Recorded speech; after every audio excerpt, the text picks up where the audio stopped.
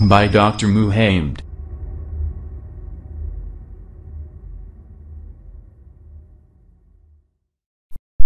السلام عليكم ورحمة الله وبركاته. معكم دكتور محمد من قناة Animal World ازيكم يا جماعة؟ عاملين إيه؟ يا رب تكونوا بخير وأفضل حال دايما يا رب.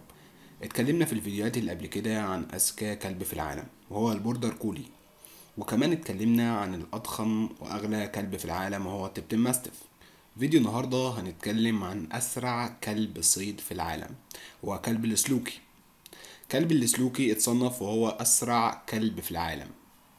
بالنسبة للاسم هو تلات أسماء سلوكي بالقاف وسلوكي بالكاف وسلوجي بالجيم. بالنسبة للفصيلة بينتمي لفصيلة hound dog إن هو كلب صيد. بالنسبة لعمره بيوصل من عشرة لاتناشر سنة وبالنسبة للطول بيوصل من تمانية وخمسين لواحد وسبعين سنتي. بالنسبة للوزن بيوصل لتلاتاشر لتلاتين كيلو. بالنسبة لأنواعه في منه ال short hair وال long hair.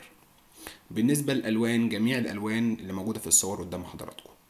بالنسبة لصفات السلوكي هو كلب طويل ورشيق جدا وعنده عضلات رجل قوية جدا وكبيرة جدا وعنده رجلين خلفيتين طويلة وكفوف عريضة.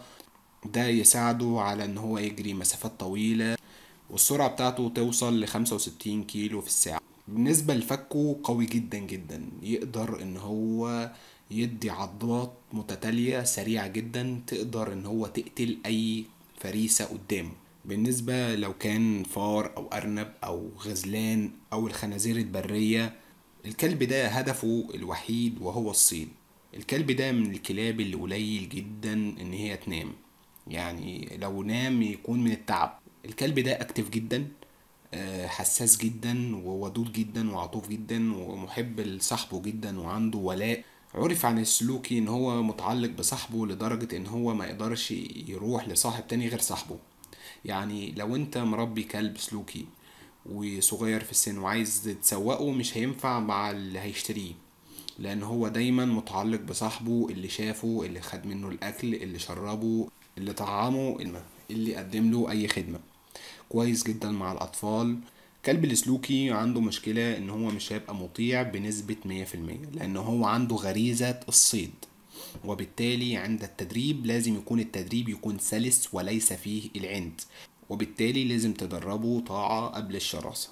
الكلب ده بيحب العزلة عن الكلاب وعن الحيوانات الأخرى لأن بحكم الغريزة إن هو كلب صيد يحب المطاردة يحب القتل الحيوانات يحب عض الحيوانات زي الأرانب زي الفئران زي الغزلان. ثبت علميا إن الكلب ده مستحيل إن أنت تمحي غريزته الصيد. وبالتالي التدريب مهم أوي أوي للكلب ده. لازم تربيه على الطاعة أولا عشان ما يأذيش الضيوف. زي ما قلت إن هو بيحب صحابه ما بيحبش حد يجي جنب صحابه الكلب ده مش هتربى معاك في الشقة.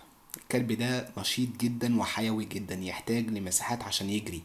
الكلب ده زي ما قلت إن هو كلب صيد يحب يجري ورا الفريسة وبالتالي الشقة هتخنقه ممكن يهرب.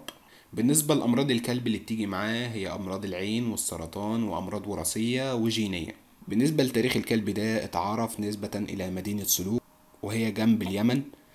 اشتهرت مدينة سلوك إن هي زمان من سبعة آلاف سنة إن هي بتصنع دروع وبتصنع حاجات للصيد وبتربي كلاب للصيد كويسة جدا وعندها خبرة إن هي تربي كلاب صيد كويسة جدا جدا.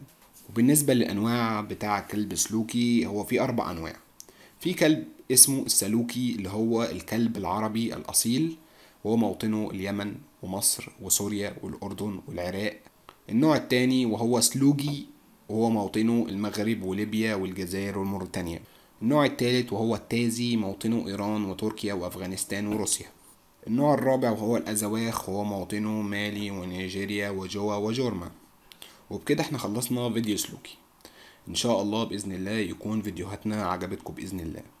يا ريت اللي شايف المحتوى كويس يدعم القناة يلا السلام عليكم by Dr. Muhammad.